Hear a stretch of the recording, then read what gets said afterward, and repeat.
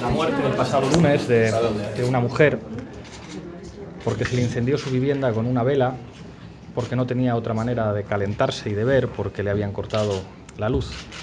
Esto es gravísimo. Es gravísimo que en España, que en la cuarta economía de la zona euro, pueda haber gente que muera por, por no poder pagar la luz. Y hemos solicitado hoy la comparecencia del señor Isidre Fainé en la Comisión de Industria.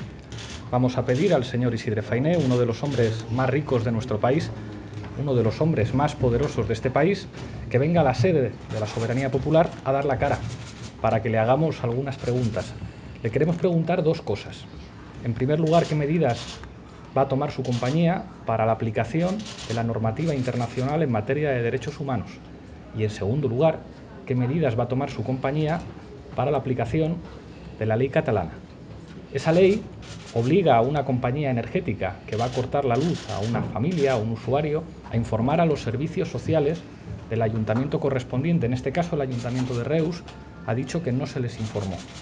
Este incumplimiento flagrante de una ley podría estar detrás de la muerte de esta mujer. Queremos preguntarle al señor Isidre Fainé qué medidas va a tomar su compañía, básicamente para aplicar la ley, la ley internacional y en este caso la ley catalana.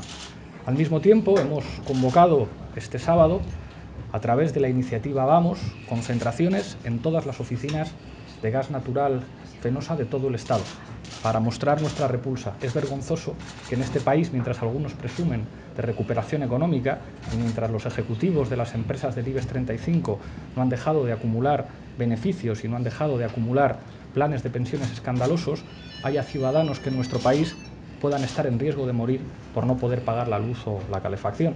Y esperamos que el señor Isidre Fainé dé la cara y venga al Parlamento a, a dar explicaciones.